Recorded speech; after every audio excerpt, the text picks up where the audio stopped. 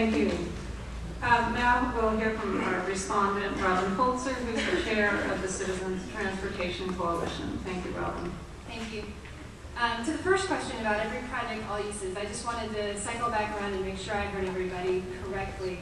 Um, Annise, you would say that's a no to all uses or a yes to all uses? Yes to all uses, but not beyond the scope of the city of Houston. The question was a little broad. Indeed. The idea being there's a, there's a bully pulpit and the city has an opportunity to partner. And then to Peter, I didn't hear a yes or a no on the all uses piece specifically, but I'm assuming. Well, that's a, that's something that, that has to be part of, uh, uh, good planning and, uh, good standards.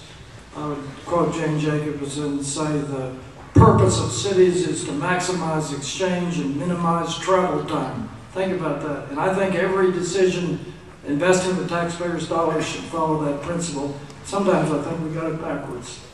Okay, so, Maximize exchange, minimize travel time. but, but to put a, a firm That yes or no. criterion, yeah, Sidewalks, sidewalks, bike paths, you would say yes to all uses for all projects in the city? Absolutely, they need to, they, they need to promote, uh, uh, mobility choices.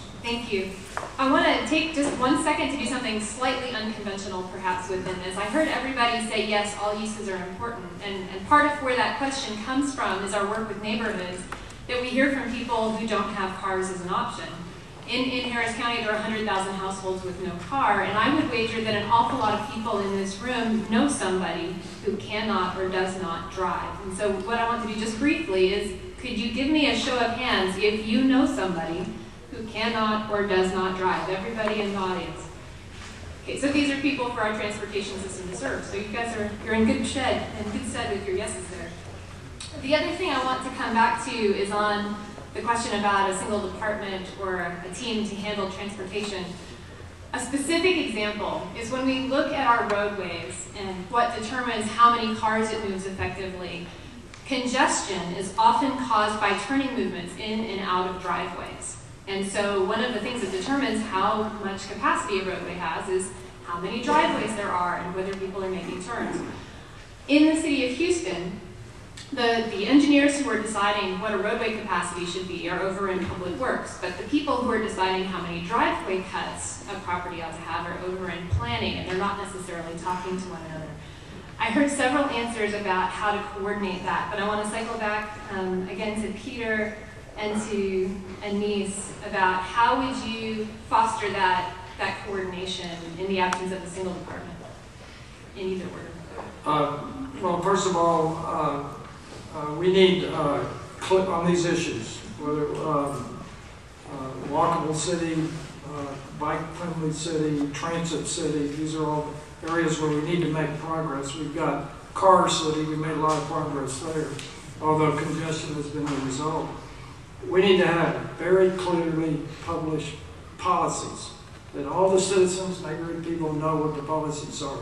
Then we've got to have standards that we don't have right now. Uh, and the, the spacing of curb cuts on different kinds of streets. And by the way, we do not even have a class, a modern classification of streets in the city of Houston. But I'm uh, seeing that we get one pretty soon, working on that with the Public Works Department. Uh, the Public Works Design Manual and Chapter 42 are two documents that we use to try to promote efficient transportation and uh, protect neighborhoods. But in my opinion, there, there, there's so many band-aids that have been put in both of those documents. When I'm mayor, folks, we're gonna, we're gonna simplify Chapter 42 to get, to make it outcomes-driven. We, we need, oh, and I'll end, end up with that, but, but you, you get where I'm at. thank you, Annise. I- I'm actually, I think I'm I'm about to agree with Peter, which I know is a surprise, but the, the, the, the plan is. I'll agree with you on another subject, Denise. Uh, uh, that, that we need to set, we, we, we need to set the, the standards in advance and not do them on an ad hoc basis. And I, I firmly believe that the, the two departments can coordinate on a, to, to, to set the, the transportation standards for the city of Houston and then carry out their respective functions within that role. And that we also need to coordinate at a, at a very high level with the other government entities uh, in the city of Houston that, that uh, impact transportation. Thank you. Thank you.